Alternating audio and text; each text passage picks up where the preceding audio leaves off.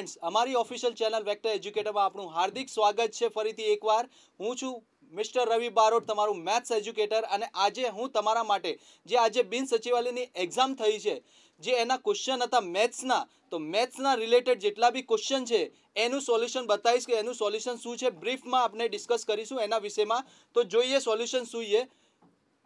તો જોઈએ સોલ્યુશન શું છે મિત્રો? જુઓ કે પહેલું ક્વેશ્ચન તમને સ્ક્રીન ઉપર દેખાય છે.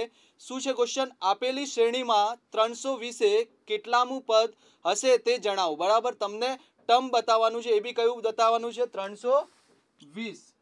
કયું બતાવવાનું છે? ત્રણસો વીસ બતાવવાનું છે. બરાબર? કઈ રીતે? તમને સિરીઝ આપેલી છે.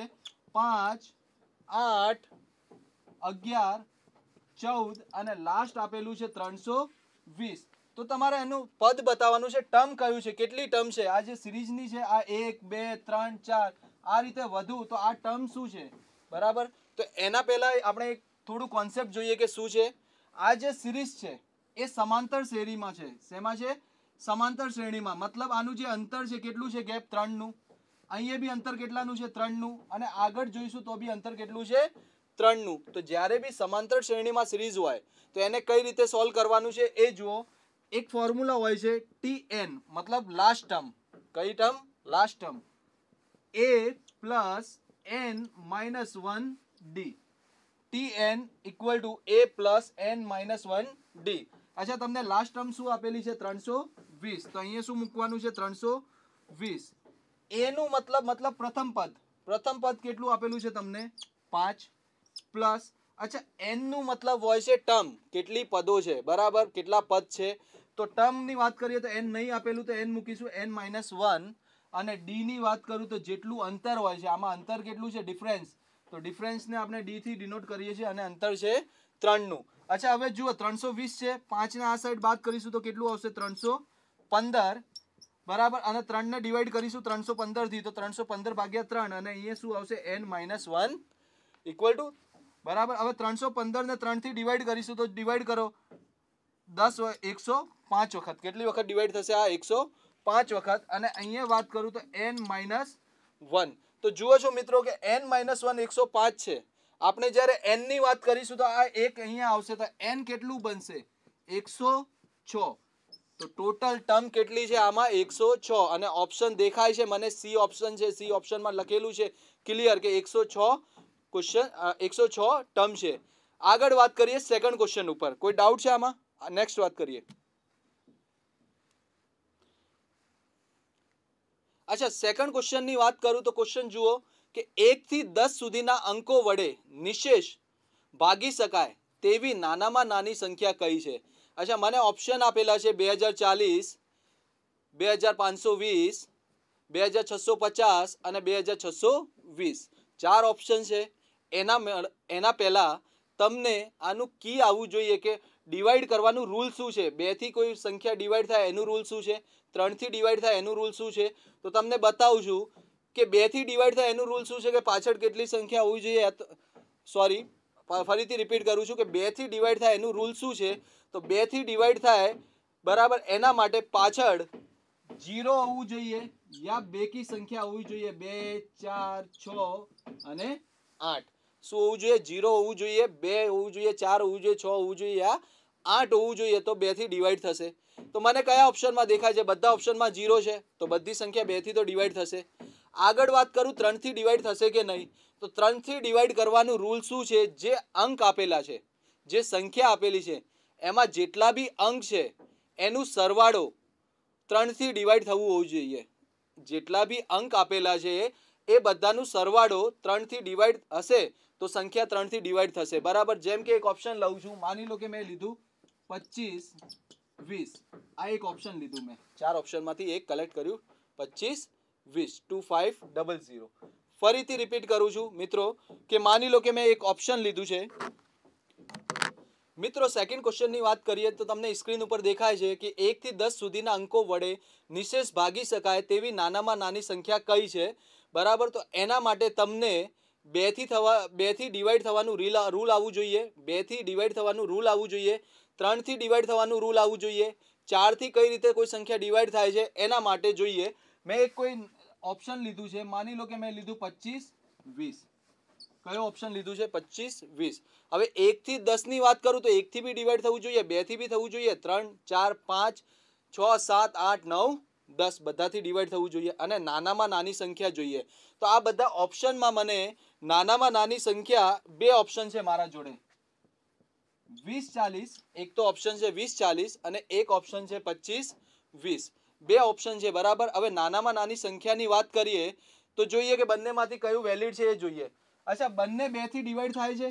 યસ યા નો સર તમે કહેશો કે સર બેથી ડિવાઈડ કરવાનું રૂલ તો બતાવો. તો શું હોય છે રૂલ એ જુઓ.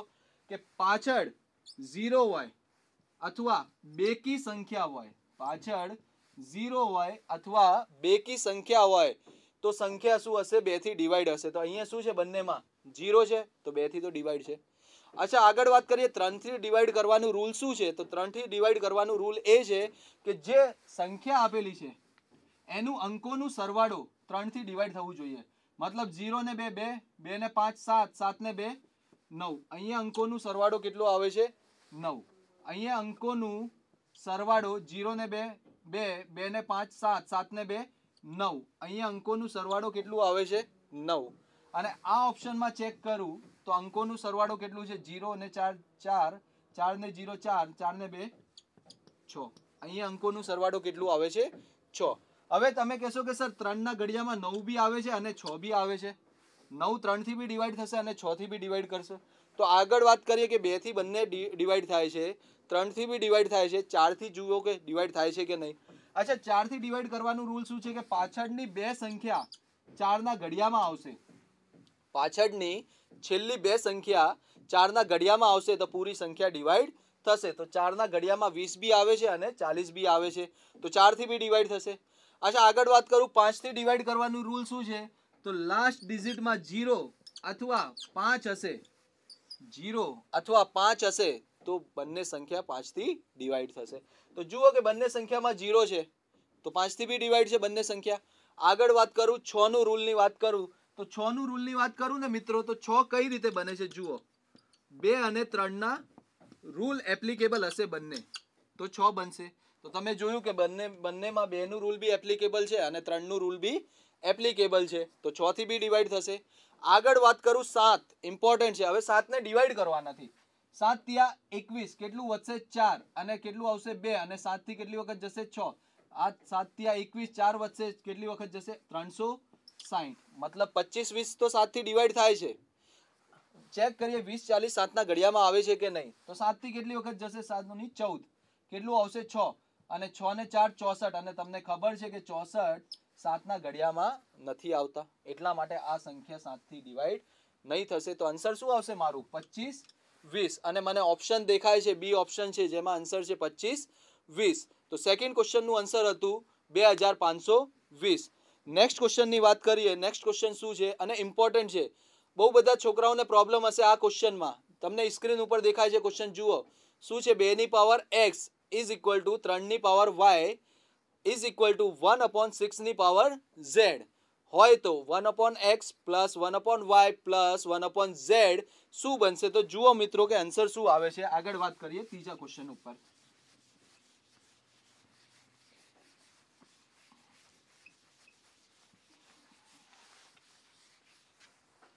થર્ડ ક્વેશ્ચનની વાત કરીએ કે થર્ડ ક્વેશ્ચનનું આન્સર શું છે? તો જોઈએ કે મને આપેલું છે ટુની power X is equal to શું આપેલું છે? ત્રણની power Y is equal to one upon સિક્સની power Z one upon સિક્સની પાવર ઝેડ બરાબર? તો એક કામ કરો, આ બધાને કેના ઇક્વલ મૂકી દો. એક વેરિયેબલ લઈ લો કે અને આના ઇક્વલ મૂકી દો બધાને. બરાબર? તો ફર્સ્ટ ઇક્વેશન શું આવશે? Two X is equal to K second equation શું આવશે? ત્રણ વાય ઇઝ ઇક્વલ ટુ કે અને થર્ડ ઇક્વેશન શું આવશે? One upon સિક્સની power Z is equal to K one upon સિક્સની power Z is equal to K બરાબર? હવે આને સોલ્વ કઈ રીતે કરીશું? એ જુઓ. અચ્છા, આ પાવર અહીંયા છે. મને આના ઉપર લઈ જવું છે.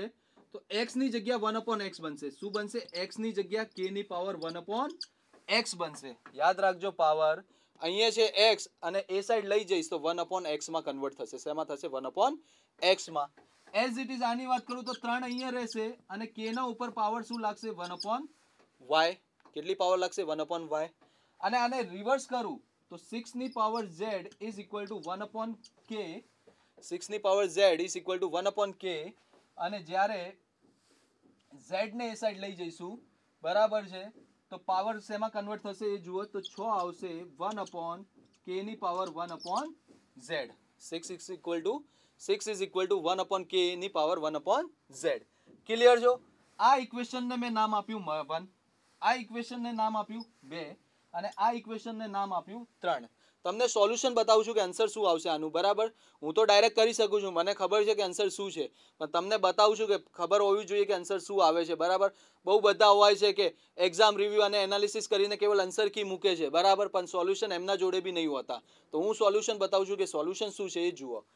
વન ઇક્વેશન ટુ ઇક્વેશન અને ત્રણ. ત્રણેય ઇક્વેશનને મલ્ટીપ્લાય કરો. શું કરો? મલ્ટીપ્લાય કરો. તો જુઓ, આ સાઈડ શું છે? બે. એ સાઈડ શું હતું? ત્રણ. અને શું હતું? અચ્છા, આની વાત કરીશું તો વન બાય સિક્સ આવશે. સોરી આ શું આવશે? One by six one by six અને આને કન્વર્ટ અહીંયા શું હતું? છ આવે છે ને? છ આવે છે કેની પાવર વન બાય ઝેડ અને આને કન્વર્ટ કરીશું કેની પાવર વન બાય ઝેડમાં તો આ શું આવશે? વન બાય સિક્સ કન્વર્ટ કરી લો. વન બાય સિક્સ તો શું આવશે અહીંયા? વન બાય સિક્સ ક્લિયર શું આવશે? વન બાય સિક્સ તો લેફ્ટ હેન્ડ સાઈડવાળાને લેફ્ટ હેન્ડ સાઈડને મલ્ટીપ્લાય કરવાનું અને રાઈટ હેન્ડ સાઈડવાળાને રાઈટ હેન્ડ સાઈડથી મલ્ટીપ્લાય કરવાનું. લેફ્ટ હેન્ડ સાઈડમાં શું હતું? ટુ થ્રી અને વન બાય સિક્સ અચ્છા રાઈટ હેન્ડ સાઈડમાં શું છે એ જુઓ. કેની પાવર બરાબર. આને આ રીતે લખી શકું છું. વન અપોન એક્સ ઇન્ટુ કેની power one upon Y into K ની પાવર વન અપોન ઝેડ બરાબર? કે ની power one upon X into K ની power one upon Y into K ની power one upon Z simple multiply કર્યું છે. અચ્છા, હવે તમને ખબર છે કે બે સમાન હોય ઘાતનું. તો પાવર એડ થાય છે. યાદ રાખે, યાદ છે કે નહીં? મેં બહુ વાર ક્લાસમાં કરાવ્યું છે કે બેસ ઇક્વલ હશે, તો પાવર શું થશે? પ્લસ થશે. તો પાવરને પ્લસ કરો. તો કે ની પાવર લખી શકું છું one upon X plus one upon Y plus one upon Z. અને અહીંયા શું આવશે? આ છ થી છ કેન્સલ અહીંયા શું આવશે? એક. મતલબ એક ઇઝ ઇક્વલ ટુ કે ની power one upon X plus one upon Y plus one upon Z પણ આન્સરની વાત કરું તો એક નથી. કેમ કે મને શું કીધું છે? One upon X plus one upon Y plus one upon ઝેડનું answer શું આવશે? તો તમને ખબર છે કે એક ક્યારે પોસિબલ છે? જ્યારે કોઈની બી પાવર ઝીરો હોય છે. કોઈનું બી પાવર યા કોઈ બી સંખ્યાનું પાવર ઝીરો હોય છે. તો એનું મતલબ શું હોય છે? એક હોય છે. તો આને એક લાવવું હશે તો મને અહીંયા પાવર શું મૂકવી પડશે? ઝીરો મતલબ એવું કહી શકું છું કે one upon X plus one upon Y plus one upon ઝેડનું સરવાળો કેટલું આવવું જોઈએ? ઝીરો આવવું જોઈએ. કેટલું આવવું જોઈએ? ઝીરો અને ઓપ્શનમાં ઝીરો છે ડી ઓપ્શન છે ઝીરો તો આનું આન્સર શું આવશે? One upon X plus one upon Y plus one upon Z is equal to zero clear છો મિત્રો? નેક્સ્ટ ક્વેશ્ચનની વાત કરીએ કે નેક્સ્ટ ક્વેશ્ચન શું છે એ જુઓ.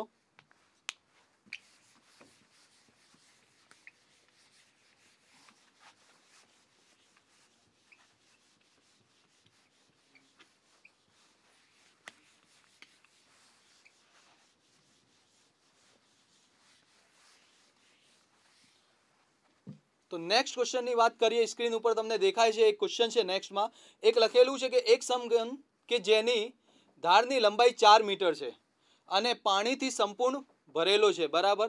મતલબ મને એક ક્યુબ આપેલું છે, સમઘન છે, જેને કહીએ આપણે ક્યુબ બરાબર? ક્યુબ કહીએ. અને એક સાઈડ આપેલી છે મને એની ચાર મીટર. કેટલી મીટર આપેલી છે? ચાર મીટર. અચ્છા, હવે તમને ખબર હશે કે બે વસ્તુ હોય છે. એક તો ક્ષેત્રફળ હોય છે, એક ઘનફળ હોય છે. એરિયા હોય છે અને વોલ્યુમ હોય છે. બરાબર? હવે તમારે કન્ફ્યુઝન હશે કે, સર, ઘનફળ લેવાનું છે કે ક્ષેત્રફળ લેવાનું છે? એક વસ્તુ યાદ રાખજો. જ્યારે બી લિક્વિડ વસ્તુ હશે, જ્યારે બી લિક્વિડ વસ્તુ હશે તો આંખ બંધ કરીને એનું વોલ્યુમ લઈ લો, ઘનફળ લઈ લો. જેમ કે એને કીધું છે કે પાણીથી સંપૂર્ણ ભરેલું છે. તો તમારે શું લેવાનું છે? ઘનફળ લેવાનું છે, જેને કહીએ વોલ્યુમ. અને તમને ખબર છે કે ક્યુબનું વોલ્યુમ કે ઘનફળ એનું ક્યુબ હોય છે સાઈડનું ક્યુબ તો સાઈડ શું છે? ચાર. ચારનું ક્યુબ મતલબ કેટલું આવશે? ચોસઠ મીટર ક્યુબ કેટલું આવશે? ચોસઠ મીટર ક્યુબ ફરીથી રિપીટ કરું છું કે વોલ્યુમ હોય છે, એ શું હોય છે? સાઈડનું ક્યુબ અને સાઈડ કેટલી છે? ચાર. ચારનું ક્યુબ કેટલું આવશે? ચોસઠ. તો ફરીથી લખું છું, ચોસઠ. કેટલું આવશે? સિક્સટી ફોર ક્લિયર આગળ વાત કરીએ. હવે આગળ શું કહે છે એ જુઓ.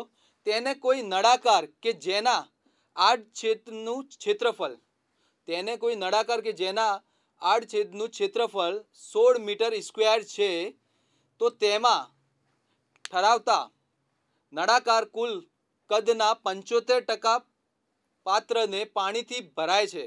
તો નળાકારની ઊંચાઈ કેટલી હશે? ઓકે, તમને હાઇટ ફાઇન્ડ કરવાની છે. બરાબર, હવે આજનું ક્ષેત્રફળની વાત કરું ને, તો નળાકાર શું હોય છે એ જોઈ લો પહેલાં. આ રીતે હોય છે. જેને કહીએ આપણે સિલિન્ડર. શું કહીએ આપણે? સિલિન્ડર. બરાબર?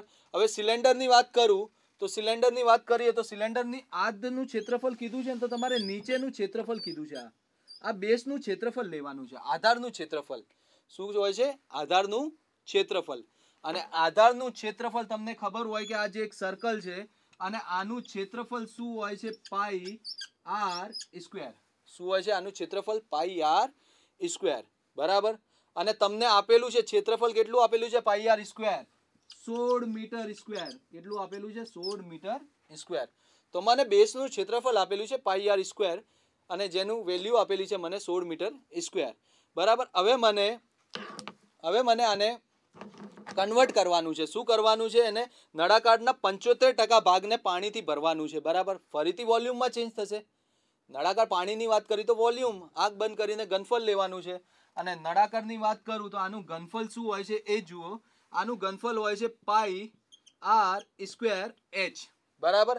અને આનું બી થ્રી બાય ફોર ભાગ લેવાનું છે. કેટલું લેવાનું છે? ત્રણ ભાગ્યા ચાર ભાગ લેવાનું છે. ફરીથી રિપીટ કરું છું કે નળાકારનું ઘનફળ કેટલું હોય છે? Pi r square H. અને આનું બી કેટલું લેવાનું છે? ત્રણ ભાગ્યા ચાર. પંચોતેર ટકા. પંચોતેર ટકા મતલબ ત્રણ ભાગ્યા ચાર. આ કોણા બરાબર હોવું જોઈએ? મને વોલ્યુમના બરાબર હશે કે નહીં? તો કેટલું આવશે? સિક્સટી ફોર કોણા બરાબર હશે? સિક્સટી ફોર અચ્છા, આને સોલ્વ કરો. પાયર સ્ક્વેરની વેલ્યુ મારા જોડે છે. કેટલી છે? સોળ મીટર. તો મૂકી દો. ત્રણ અપોન ચાર ઇન્ટુ સોળ into H is equal to ચોસઠ. બરાબર? આ ચારથી કેટલી વખત જશે સોળ? ચાર વખત જશે. અને આ ચાર એકા ચાર, આને કાપીશું તો કેટલી વખત જશે? સોળ વખત જશે. તો એચની વાત કરું તો આ ત્રણ આના નીચે આવશે તો કેટલું આવશે? સોળ ભાગ્યા ત્રણ મીટર. કેટલું આવશે? સોળ ભાગ્યા ત્રણ મીટર. અને મને ઓપ્શન ઓપ્શન છે એ ઓપ્શન છે three by four B option છે ફોર બાય થ્રી અને સી ઓપ્શનમાં સોળ બાય થ્રી છે. બરાબર? અને ડી ઓપ્શન આપેલું છે સોળ મીટર. તો આન્સર કેટલું આવશે આનું? સોળ બાય થ્રી મીટર. ક્લિયર છે મિત્રો? શું હતું? યાદ રાખજો. કે જ્યારે બી લિક્વિડની વાત હશે, તો તમારે આંખ બંધ કરીને ગનફલ લેવાનું છે. શું લેવાનું છે? ગનફલ. અને આ ક્વેશ્ચન મને એટલું ક્લિયર છે અને કહી શકું છું, બહુ બધા ક્લાસીસવાળા બી સોલ્વ નહીં કરાવશે કે શું છે વસ્તુ. અને તમને બતાવું છું કે શું છે. બરાબર? આગળ વાત કરીએ. મિત્રો નેક્સ્ટ ક્વેશ્ચન ઉપર. શું છે? નેક્સ્ટ ક્વેશ્ચન એ જોઈએ.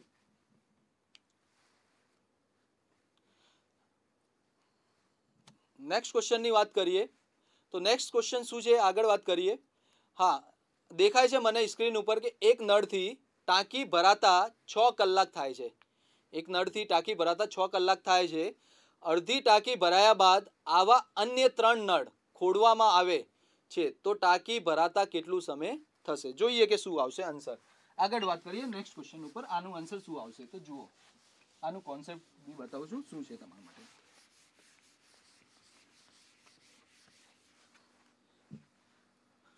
અચ્છા, હવે મને ટાંકીની કેપેસિટી નહીં ખબર. ટાંકીની કેપેસિટી નથી આપેલી, બરાબર? માની લો ને, જે માનવું હોય, માની લો કે મેં માની લીધી ટાંકીની કેપેસિટી અઢાર માની લો. કેટલું માની લો? અઢાર લીટરની છે. બરાબર છે? કેમ અઢાર માની? છ આપેલું છે, છ કલાક. તો તમારે છના એલ્સિયમમાં માની લો કે જેથી આસાનીથી ડિવાઈડ થાય. બાર માની લો, અઢાર માની લો, છત્રીસ માની લો. તમારી ઈચ્છા હોય તો છત્રીસ લઈ લો. ચલો, અહીંયા છત્રીસ લઈ લીધું છત્રીસ લીટર. કેપેસિટી કેટલી છે? છત્રીસ લીટર. અને એક નળ ટાંકીને ભરતા. હવે એક નળની વાત કરું તો એ લઈ લો, માની લો. અને આને છત્રીસ લીટર ભરતા છ કલાકનું ટાઈમ લાગે છે. બરાબર? તો મને એવું કહો કે એક કલાકમાં આ કેટલું ભરશે? છત્રીસ ભાગ્યા છ છ લીટર ભરશે? આની કેપેસિટી શું છે એક કલાકની? કે એક કલાકમાં કેટલું ભરશે તો? છ લીટર. ટોટલ ભરે છે કેટલું? છત્રીસ લીટર. તો એક કલાકમાં કેટલું ભરશે આ? છ લીટર. બરાબર? હવે શું કીધું છે કે અડધું ભરાયા પછી? તો અડધું ભરાવા માટે મને અઢાર ભરવું પડશે. અઢાર લીટર છત્રીસનું અડધું કેટલું હોય છે? અઢાર અને મને અઢાર ભરવા માટે એક કલાકમાં છ લીટર લે છે. તો ત્રણ કલાકમાં આને કેટલું લીટર ભરશે આ? અઢાર લીટર. ત્રણ કલાકમાં કેટલું ભરશે? અઢાર લીટર. તો અડધું તો ભરી દીધું આને. આગળ શું કીધું છે? આવા અન્ય ત્રણ નળ ખોડવામાં આવે. તો એક તો ઓલરેડી છે જ. અને સેમ ટુ સેમ ત્રણ બીજા ખોલવામાં આવે. બરાબર? તો ટોટલ નળ કેટલા થયા? ચાર. અને તમને ખબર છે કે ટોટલ નળની વાત કરું તો ચાર. અને એક નળ છે, એ છ લીટર ભરે છે, એક કલાકમાં. તો ચાર નળની વાત કરું તો એક કલાકમાં કેટલું ભરશે? ચોવીસ લીટર ભરશે કે નહીં? એટલું કહો, ચારની વાત કરું. તો એક છ ભરે છે. તો આ ચાર કેટલા ભરશે? ચારની વાત કરું તો ચોવીસ લીટર ભરશે.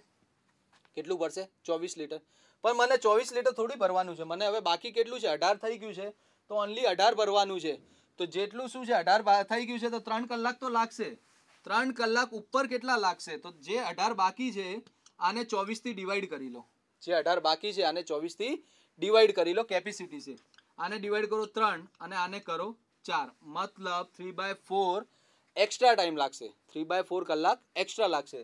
તો ત્રણ કલાક તો છે જ અને ત્રણમાં થ્રી બાય ફોર એડ કરું. તો બીજા ત્રણ થ્રી બાય ફોર મતલબ કહી શકું છું અને થ્રી બાય ફોરને મિનિટમાં ચેન્જ કરું તો સાહીઠથી મલ્ટીપ્લાય કરીશું અને આને કેન્સલ કરીશું તો પંદર વખત અને પંદર ત્યાં પિસ્તાલીસ. તો કહી શકું છું કે ત્રણ કલાક પિસ્તાલીસ મિનિટ થશે ભરતા. કેટલું થશે? ત્રણ કલાક અને પિસ્તાલીસ મિનિટ. અને મને ઓપ્શન એ દેખાય છે. બરાબર? તો આન્સર શું આવશે? ઓપ્શન એ ત્રણ કલાક પિસ્તાલીસ મિનિટ. નેક્સ્ટ ક્વેશ્ચન ઉપર વાત કરીએ. મિત્રો નેક્સ્ટ ક્વેશ્ચન શું છે એ જુઓ. અચ્છા, મને આપેલું છે, સ્ક્રીન ઉપર દેખાય છે તમને કે વીસ લીટર એક મિશ્રણમાં દૂધ અને પાણીના પ્રમાણ ત્રણ જેમ એક છે. મેં બહુ બધા ક્વેશ્ચન કરાયા છે, બરાબર? કોઈ એવું નહીં કે મેં ક્વેશ્ચન નહીં કરાયા. બરાબર? બધા ક્વેશ્ચન કરાયા છે. જુઓ કે શું છે જે વીસ લીટર એક મિશ્રણના દૂધમાં અને પાણીમાં પ્રમાણ ત્રણ જેમ એક છે, કેટલા લીટર દૂધ ઉમેરવાથી આ મિશ્રણનું પ્રમાણ ચાર જેમ એક થશે? તો જુઓ કે શું કરીશું આમાં.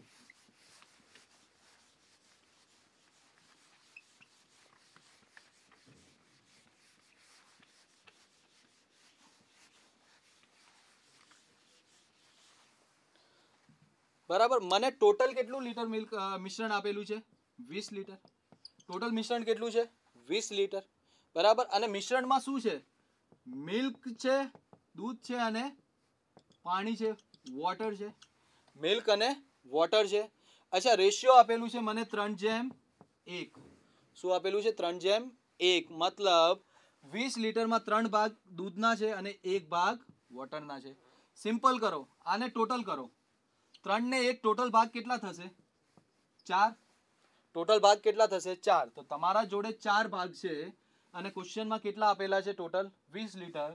તો તમે કહી શકો છો કે ચાર ભાગની વેલ્યુ વીસ લીટરના બરાબર. તો એક ભાગની વેલ્યુ કેટલા લીટરના બરાબર આવશે? તો તમે કહેશો, સર, પાંચ લીટરના બરાબર. ચાર ભાગ વીસના બરાબર આપેલા છે. તો એક ભાગ પાંચના બરાબર.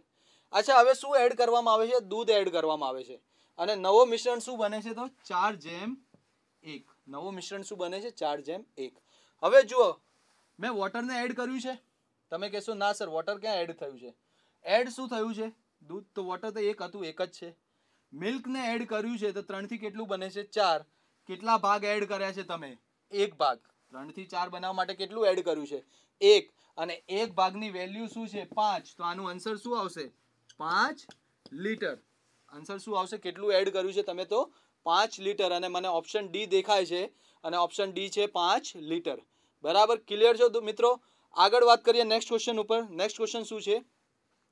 તો નેક્સ્ટ ક્વેશ્ચનની વાત કરીએ આપણે, તો તમને સ્ક્રીન ઉપર દેખાય છે કે છાપેલી કિંમત ઉપર પંદર ટકા વળતર આપવા છતાં વેપારીને વીસ ટકાનો નફો મળે છે. બરાબર? મતલબ ડિસ્કાઉન્ટ આપતા પછી બી એને કેટલું નફો થાય છે? વીસ ટકાનો. બરાબર?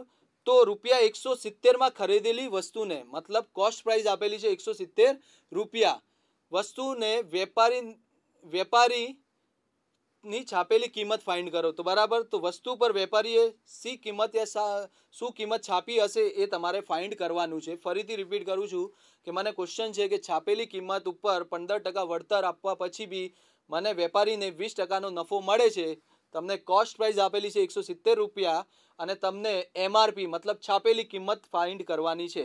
કઈ રીતે ફાઇન્ડ કરીશું એ જુઓ.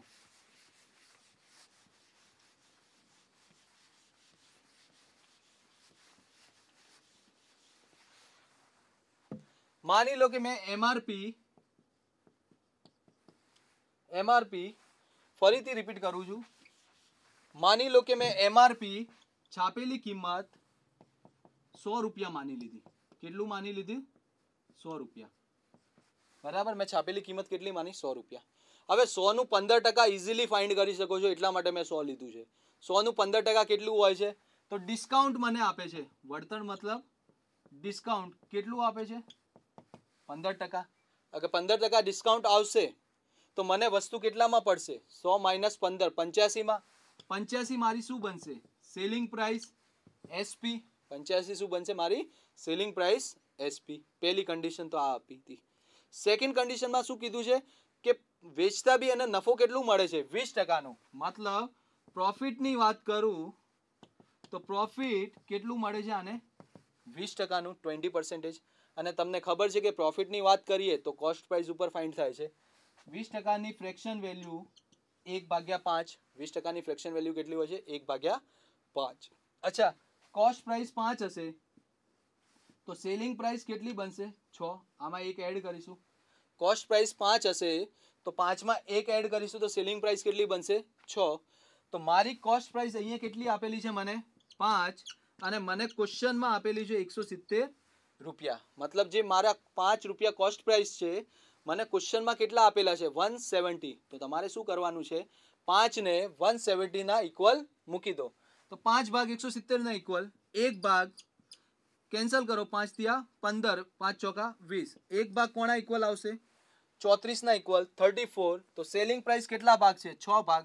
તો છ ભાગ કોના ઇક્વલ આવશે? તો તમારે શું કરવાનું છે? ચોત્રીસ ઇન્ટુ છ. મલ્ટીપ્લાય કરવાનું છે. અચ્છા, ચોત્રીસ ઇન્ટુ છ મલ્ટીપ્લાય કરશો તો કેટલું આવશે? બસો ચાર. અને બસો ચાર આન્સર નથી. આ તો મારી સેલિંગ પ્રાઇસ છે. બસો ચાર શું છે મારી? સેલિંગ પ્રાઇસ મને સેલિંગ પ્રાઇસ નહીં પૂછી. મને માર્ક પ્રાઇસ પૂછી છે એમઆરપી તો એમઆરપી અમે એમઆરપીની વાત કરું, તો તમને ખબર છે કે એમઆરપી સો રૂપિયા માની હતી, બરાબર? એક છની પ્રાઇસ બસો ચાર છે, બરાબર? ક્લિયર છે? સોની પ્રાઇસ કેટલી છે? છની છની પ્રાઇસ બસો ચાર છે. તો આગળ વાત કરીએ, આ તો સેલિંગ પ્રાઇસ છે. અને તમને ખબર છે કે અગર એમઆરપી ઉપર ડિસ્કાઉન્ટ આવે, તો ડિસ્કાઉન્ટ મતલબ માઇનસ સોમાંથી પંદર જશે તો કેટલું આવશે? પંચ્યાસી ટકા. સોમાંથી પંદર જશે તો કેટલું આવશે? પંચ્યાસી ટકા. તો એમઆરપીનું પંચ્યાસી ટકા કોણા ઇક્વલ હોવું જોઈએ? સેલિંગ પ્રાઇસના ઇક્વલ હોવું જોઈએ કે નહીં?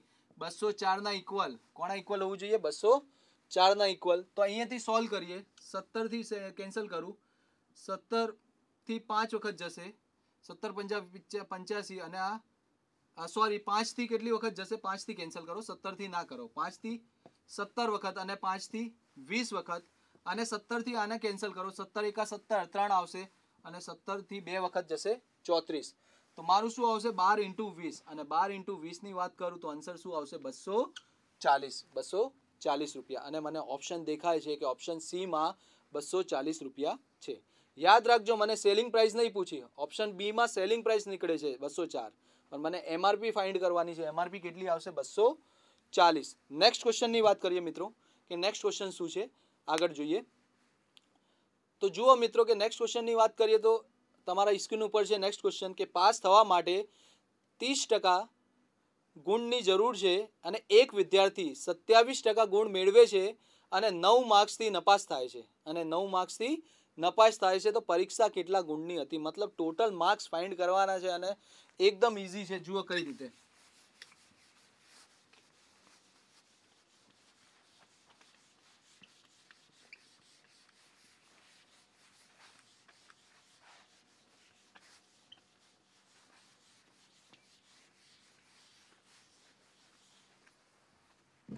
તો એકદમ ઇઝી તરીકે જોઈશું કે આનું આન્સર શું છે. હવે જુઓ કે પાસ થવા માટે કેટલા ટકા જોઈએ.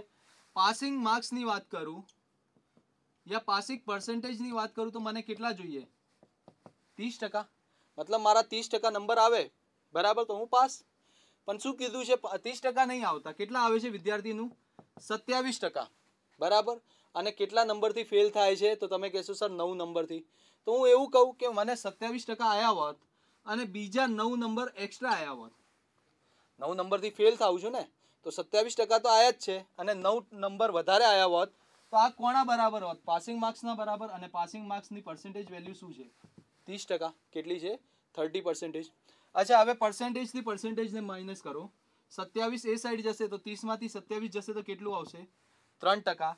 અને ત્રણ ટકાની વેલ્યુ નવ. એક ટકાની વેલ્યુ ત્રણ. ત્રણ ટકાની વેલ્યુ નવ, એક ટકાની વેલ્યુ ત્રણ અને મને ટોટલ માર્ક્સ પૂછે છે. ટોટલ માર્ક્સ ઓલવેઝ સો પર્સન્ટમાં હોય છે. તો એક ટકા ત્રણ હશે તો સો ટકા કેટલું આવશે?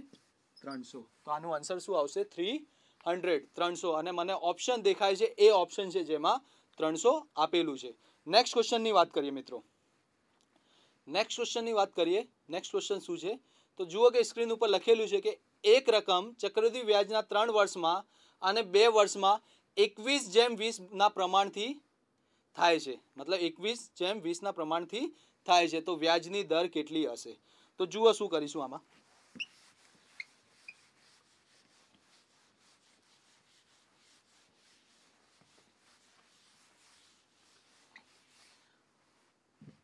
ચક્રવૃદ્ધિ વ્યાજની વાત કરી છે. બરાબર? મતલબ એવું કીધું છે કે બે વર્ષમાં, બરાબર, બે વર્ષમાં એવું માની લો કે વીસ ભાગ છે. અને ત્રણ વર્ષમાં એકવીસ ભાગ બને છે. ગુણોત્તરની મતલબ શું છે? ડિવાઈડ કરી શકું છું. બે વર્ષમાં વીસ ભાગ છે અને ત્રણ વર્ષમાં એકવીસ ભાગ છે. જ્યારે બી એવું આપેલું હોય, બે વર્ષમાં આટલું થાય છે અને ત્રણ વર્ષમાં આટલું થાય છે, તો વ્યાજની દર કેટલી આવશે? તો તમારે શું કરવાનું છે? સિમ્પલ કહું છું. વન અપોન આ જે આપેલું છે, વીસ બાય એકવીસ, આને આ રીતે લખો. વીસ બાય એકવીસ લખી લો. આને શું લખીશું? વીસ બાય એકવીસ. બરાબર? કઈ રીતે જુઓ. તમને ખબર છે? કઈ વાંધો નહીં. એક્સપ્લેન કરું ફરીથી. ચલો બ્રીફમાં એટલે એક્સપ્લેન કરું છું કે શું છે બ્રીફમાં એક્સપ્લેન કરીએ. કે બે વર્ષમાં વીસ થાય છે અને ત્રણ વર્ષમાં એકવીસ થાય છે. અચ્છા, તમને ખબર છે કે ચક્રવૃદ્ધિ વ્યાજની વાત કરું? ચક્રવૃદ્ધિ વ્યાજની વાત કરું તો શું હોય છે? P one plus R by હંડ્રેડની power T P one plus R by શું હોય છે? P one plus R by હંડ્રેડની power T time હોય છે? બરાબર.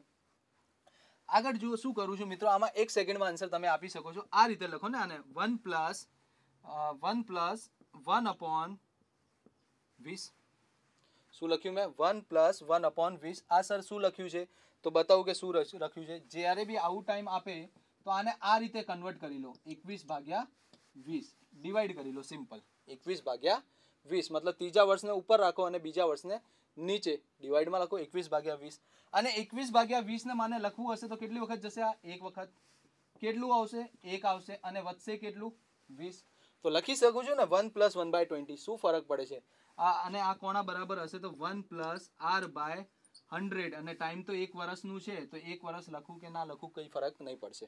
બરાબર? તો one plus one upon twenty is equal to one upon one plus R by hundred. અચ્છા એકથી એક કેન્સલ એકથી એક કેન્સલ મતલબ one by twenty is equal to R by hundred આ વીસથી કેટલી વખત જશે? પાંચ. અને આર કેટલું આવશે? તો તમે કહેશો મિત્રો કે સર પાંચ ટકા આવશે. ફાઇવ પર્સન્ટેજ અને મને ઓપ્શન દેખાય છે કે ઓપ્શન સી છે. જેમાં આન્સર કેટલું છે? પાંચ ટકા. તો જોયું મિત્રો કે આન્સર શું છે આનું? પાંચ ટકા. બરાબર? તો આ હતા તમારા મેથ્સના સોલ્યુશન અને મેં કન્સેપ્ટ વાઇઝ બ્રીફમાં બતાવ્યું છે એવું નહીં કે બસ મેં આન્સર બતાવી દીધું કે પહેલાંનું આ, બીજાનું આ, ત્રીજાનું આ, એ રીતે નહીં. જેમ કે દરેક યુટ્યુબ ચેનલ ઉપર એવું જ થાય છે કે શું છે કે બ્રીફમાં તો નહીં બતાવતા, ક્યાંથી કોપી કરે છે અને પેસ્ટ કરે છે અને પહેલાનું આન્સર આ, બીજાનું આન્સર આ, ત્રીજાનું આ, એ રીતે નહીં. મેં તમને સોલ્યુશન સાથે બતાવ્યું છે અને રીઝન શું છે, આ આન્સર કેમ આવશે એટલા માટે બી બતાવ્યું છે. ચેનલને સબસ્ક્રાઈબ કરો શેર કરો અને લાઇક કરો અને વેઇટ કરજો મિત્રો. અત્યારે બી બીજા જે દાખલા છે, બીજા જે ક્વેશ્ચન છે, એનું બી આન્સર કી આવશે બધાનું. તો એ થોડી વારમાં અપલોડ થશે તો જોતા રહો વેક્ટર એજ્યુકેટર